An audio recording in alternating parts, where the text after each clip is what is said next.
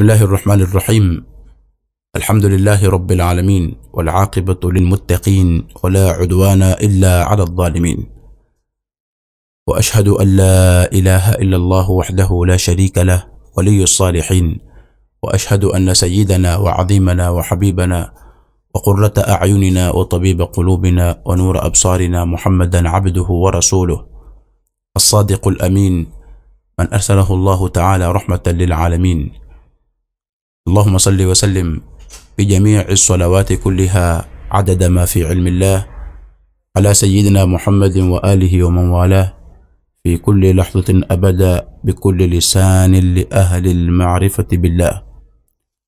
وسلم تسليما كثيرا. أما بعد بعدكم شكروا من يزمك سبحانه وتعالى. pamoja na kumtakia rehma na amani kipenzi محمد صلى الله عليه وآله وصحبه وسلم. Tukiwa katika darasa ya sampuli wanaolinganiwa.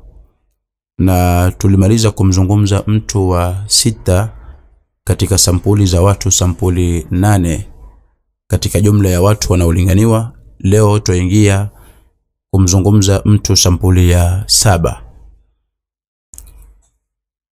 Naye ni mtu ambaye ajishughulisha na ajilazimisha katika majority ya watu kumwabudu Mwenyezi Mungu na kumfanyia taa na ibada. Ama kwa upande wa pili, waliyadhu billahi, yule ambaye amevaana na maasiya, anayeendelea anayeingia katika kumwasi Mwenyezi Mungu Subhanahu wa Ta'ala. Huyu ndiye mtu sampuli ya saba katika jumla ya watu sampuli nane wanaolinganiwa. Yani utakayempatia da'wa aidha atakuwa ni mwanachuoni msomi katika dini ama atakuwa ni atba' wale wenye kufuata ama matubu' mwenye kufuatwa pia. Na katika jumla ya wanaolinganiwa yule unayemlingania henda akawa ni mtu ambaye yeye amelazimika ama amejilazimisha na aendelea katika taa yani amejifunga na taa na ibada. Ama atakuwa ni mtu ambaye amevaana na maasiya. Kwa hivyo mtu sampuli ya saba ni moja kati ya njia mbili. Aidha ni mtu ambaye ajishughulisha na taa tu ibada tu yeye amejilazimisha na ibada. Ama ni mtu ambaye ameingia katika maasiya vipi utaweza kumpatia nasaha mtu kama huyu na kumtahadharisha na kumkhofisha na kumtanabahisha na kumwelimisha? Da'wa kwa jumla. Na kwanza katika sampuli hii ya saba tutaanza na waliojishughulisha na taa ya kumtii Mwenyezi Mungu katika watu wa kawaida majority ya watu ammatun nas asema al-Imam Sayyidi Abdullah bin Alawi bin Muhammad al-Haddad katika ad-da'wa at-tamma اعلم أنه قد تقدم في ذكر الصنف الثاني الذين هم الخاصة من عب من عب من عباد الله. نبذة من التعريفات والتنبيهات اللائقة بأحوال تلك الخاصة من أولياء الله والمنقطعين إليه. ili kukutoa hii ya saba usije ukaifananisha na sampuli ya pili. Ni kuwa sampuli ya pili tulitanguliza kuzungumza. Wale watu spesheli watu hasa katika waja wa Mwenyezi Mungu Subhanahu wa Ta'ala ambao wametindikia katika ibada kumwabudu Mwenyezi Mungu Subhanahu wa Ta'ala katika vipenzi auliya illahi mawali wa Mwenyezi Mungu Subhanahu wa Ta'ala. Na watu sampuli kama hiyo hawafanani na sampuli hini ya saba. Wale ni hasa ambao ni auliya ni ibadillah almunqati'ina ilayhi waliotindikia kwake yeye Mwenyezi Mungu Subhanahu wa Ta'ala. Mwenyezi Mungu atunufaishe na wao na wala asitunyime baraka zao. Na kujibiwa kwa dua zao hapa twamzungumza mtu wa kawaida ambaye ajaribu kusoma Qur'ani, ajaribu kuswali, ajaribu kufunga, atekeleze ibada sampuli mbalimbali, lakini aelewe huyu ya kuwa ni lazima kwake katika huku kufanya toa kwake. Umetoka katika kibarua, mwadhini ameadhini, waingia msikitini kuswali. Umefika wakati wa kufunga, watekeleza saumu. Umefika wakati wa kutoa zaka, ukatoa kiasi cha vile ulivyowezeshwa na Mungu. Huyu ni lazima aelewe ya kuwa hatua ya kwanza ambayo yamlazimu katika maisha yake ili aweze kufaulu katika huko kulazimiana kwake na ibada, lazima ajifundishe yasiokuwa na budi kwake yeye katika elimu ambayo haiswihi wala haitimu toa yake ibada yake isipokuwa kwa elimu hizo za dhahira, mfano wa kujua hukumu za tahara, kujua hukumu za sala, kujua siyam na mfano wa maana kama hayo, kwa sababu henda mtu akasali katika watu wa kawaida na ikawa hajui maskini hukumu ambazo zaambatana ama zafungamana na tahara, akawa yeye aingia katika sala na sala yake haitakabaliwi, sala yake haiswihi, sala yake si swala, kwa sababu hakujua tahara ni kitu gani. Kwa hivyo huyo ambaye afanya ibada ni lazima aelewe katika masail ambayo ayafanya ya ibada, ni lazima ajue elimu ambayo hana budi nayo, elimu ambayo haisihi ile ibada wala haiwezi ikawa ni yenye kukubaliwa ila kwa elimu kama hiyo.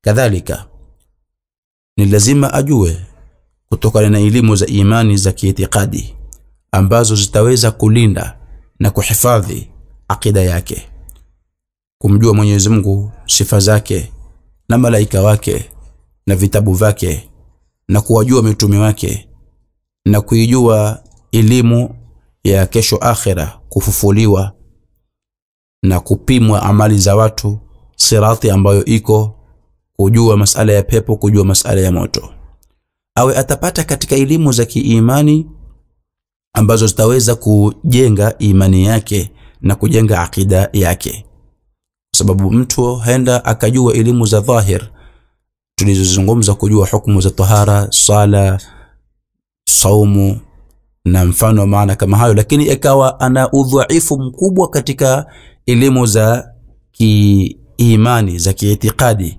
ikawa itikadi yake yeye mbovu chafu. Amekuja tahara kamili, yuko katika sala lakini ana na kihirizi amekifunga katika mkono, ala sabili almithali, kwa kujua wazi kwamba hichi kihirizi ndicho kinachonisaidia. Huyu ana khalal, ana upungufu katika elimu za kiitikadi. Kwa hivyo baada ya kupata elimu za dhahir, lazima apate na elimu ya, ya imani na elimu za Kiislamu na elimu za kiimani yani nikizungumzia nguzo za alislam na nguzo za iman, hivi ni vitu viwili ambavyo vyaenda sambamba. Ukifanya halal ukawa na upungufu moja kati ya hizi mbili, basi huwa ni matatizo katika maisha yako.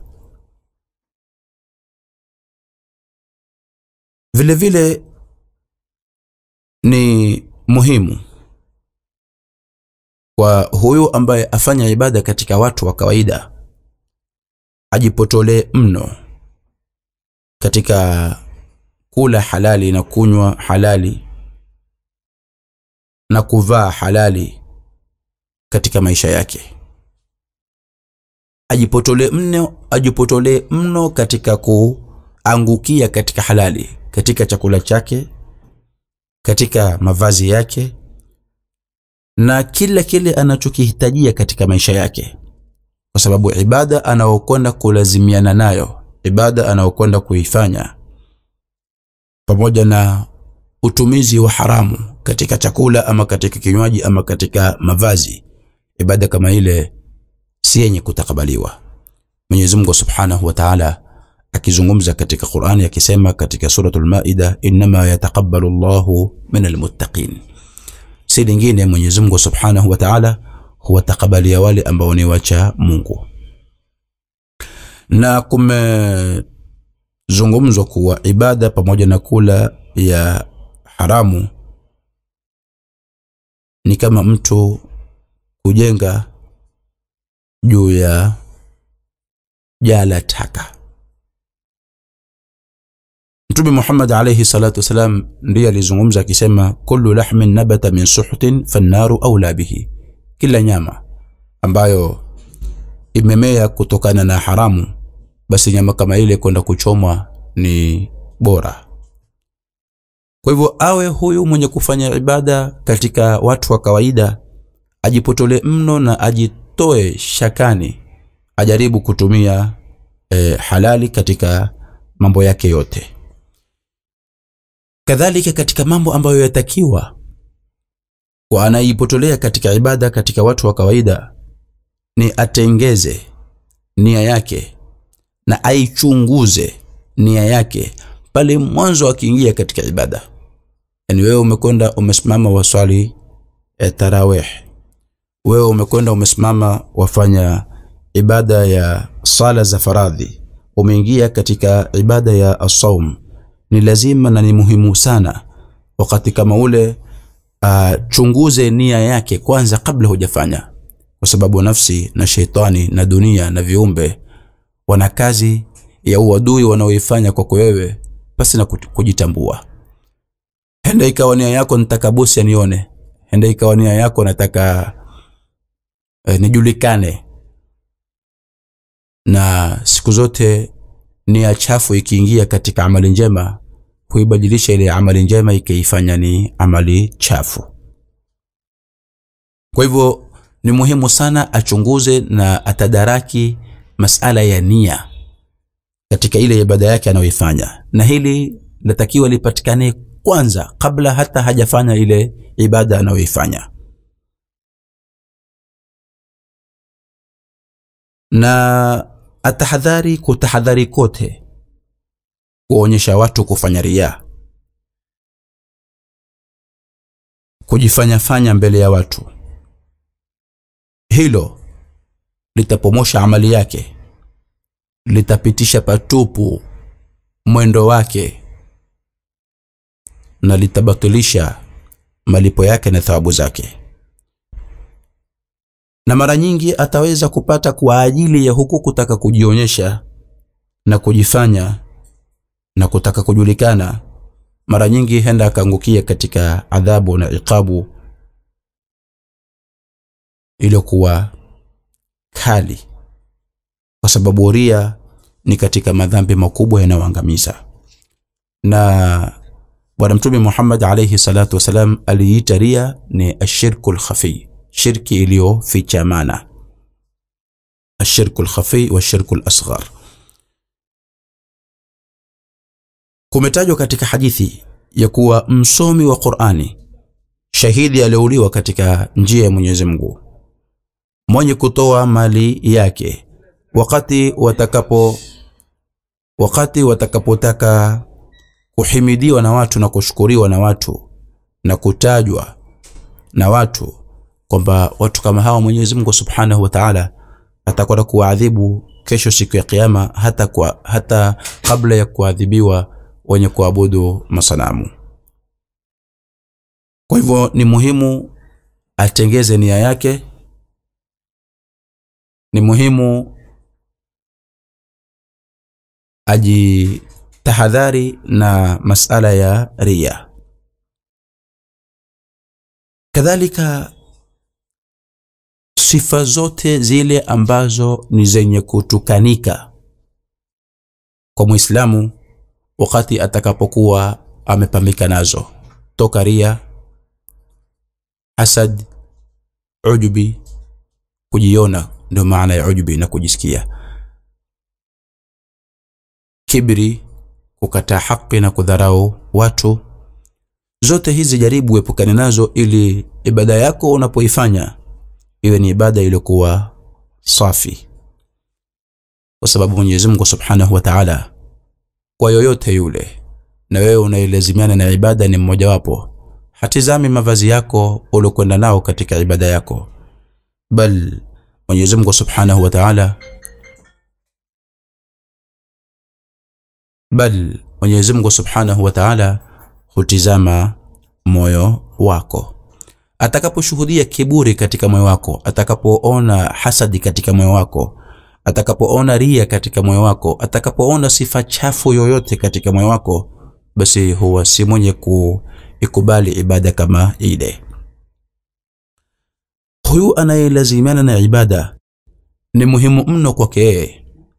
Atekeleze haki za wale ambao wako chini yake ambao Mwenyezi Mungu Subhanahu wa Ta'ala amempatia majukumu kama hayo ya kuweza kuyasimamia na ajue ya kuwa hawezi kufaulu si kwa nguvu zake wala si kwa mali yake wala si kwa ibada yake ila ni kwa rahma na fadhila kutoka kwa Mwenyezi Mungu Subhanahu wa Ta'ala. Usiwe na itikadi ya kuwa mbio unazokwenda ndizo zilizokuwezesha kuweza kuwa hifadhi na kuwalinda wale walioko chini ya ulezi wako. Wala usio na mawazo ya kuwa ibada unazozifanya ndizo zitakazokufanya uweze kufaulu na kupita katika mitihani yote. Bal Mwenyezi Mungu atuambia katika suratu Nur walaula fadlullahi alaykum wa rahmatuhu ma zaka minkum min ahadin abada walakin Allah yuzakki man yasha wallahu samiun alim. Lau si fadla za Mwenyezi Mungu na sikitiko lake basi hakuna yoyote angelikuwa mswafi. Lakini Mwenyezi Mungu Subhanahu wa Ta'ala humtakasa yule anayemtaka na Mwenyezi Mungu ni msikizi na ni mjuzi. Mtume Muhammad alayhi salatu wasalam ndiye aliyezungumza akisema hakuna yoyote atakayeingia peponi kwa amali yake. Masahaba kumwambia hata wewe ya Rasulullah Mtume Muhammad alayhi salatu wasalam akawaambia hata mimi ila Mwenyezi Mungu Subhanahu wa Ta'ala akinifinika na sikitiko lake rehma yake. Kwa hivyo tegemeza mambo yako yote kwa Mola Subhanahu wa Ta'ala, tegemeza mambo yako yote kwa huyu anayetuambia kwamba rehma zake zimetangulia hasira zake. Mtume Muhammad alayhi salatu wasalam aeleza katika hadithi al-Qudsi kwamba Mwenyezi Mungu Subhanahu wa Ta'ala atamwambia mja siku ya kiyama, e mja wangu, ingia peponi kwa rehma zangu. Mja aseme bal kwa matendo yangu ya Rabbi. Mwenyezi Mungu Subhanahu wa Ta'ala aamrishe kwa, aamrishe kwa yule mja ahisabiwe neema ya jicho peke yake, tena si macho yote mawili, jicho moja peke yake. Basi neema ya jicho moja imalize ibada zake za miaka mia tano na bado neema za Mungu zikawa zimebakia kwa yule binadamu nyingi sana. Mwenyezi Mungu Subhanahu wa Ta'ala aamrishe yule mja akunjwe kunjwe apelekwe motoni, aseme basi ya Rabbi nitie peponi kwa rehma zako. Mwenyezi Mungu Subhanahu wa Ta'ala aamrishe aingizwe peponi kwa rehma zake. Kwa hivyo ajue mwenye kufanya ibada kwamba fadhila za Mwenyezi Mungu Subhanahu wa Ta'ala. Nzake ndake yeye Mola Subhanahu wa Ta'ala fadhila zote mwanzo na mwisho dhahir na batin. Hakuna yoyote ambaye yofaulu katika dunia kama hii na akhira tunayoendea isipokuwa kwa fadhila za Mwenyezi Mungu. Pamoja na hayo bidii yatakiwa na kutekeleza ni jambo ambalo kwamba liko katika shingo zetu kadhalika kwa mwenye kufanya ibada atahadhari na masala ya haraka haraka katika ibada zake. Yani kukimbilia kimbilia mbio mbio swala ikawa aifanya haraka haraka aiswali haraka haraka. Saumu ikawa kufunga kwake matatizo matatizo. Kusoma kwake Qur'ani yani suala la haraka na lolote ambalo kwamba litasababisha matatizo katika ibada yako epuka. Akusudie katika ibada yake. Kujifunga kwa kiasi anachokiweza. Mtume Muhammad atuambia jilazimisheni na amali njema kiasi mwanachoweza kwani Mwenyezi Mungu hachoki ila baada ya nyinyi kuchoka. Mtume Muhammad alayhi salatu wasalam akisema kuwa kiasi kiasi mutafika, bal hadithi ambayo ni maarufu Mtume akisema ahabu al-a'mali lillahi adwamuha wa in qalla. Pamoja na kujua Mwenyezi Mungu Subhanahu wa Ta'ala azungumza akisema inna la nudhi'u ajra man ahsana amala, amali yoyote utakayoifanya Mwenyezi Mungu hapitishi patupu, lakini kinachozingatiwa hapa ni masala ya kuendelea na kudumu katika ibada. Ndio wakatoa nasaha kwa mtu wa kawaida anayelazimiana na ibada ashiki kiasi ambacho ataweza kuendelea nacho. Haya ni baadhi ya maelezo ambayo tumependa kusimama nayo katika darasa kama hini ya kumzungumza mtu sampuli ya saba katika watu sampuli nane wanaolinganiwa, na tumemaliza sehemu ya kwanza kumzungumza ambaye alazimiana na taa kufanya ibada. Insha Allah taala, katika darasa itakayofuata tutazungumza upande wa pili kwa yule ambaye ameondwa na mtihani wa kuingia katika maasia vipi tutaweza kumpatia da'wa, kumkhofisha na kumtahadharisha. Bado ni sampuli ya saba katika watu sampuli nane wanaolinganiwa. Mwenyezi Mungu atuafikie kwa hayo yote, atupe duniani mazuri na akhira mazuri, na atuokoe na adhabu ya moto. Wassalamu alaikum wabarakatuh, wal afwa minkum wa as'ada Allahu awqatakum wa ila liqa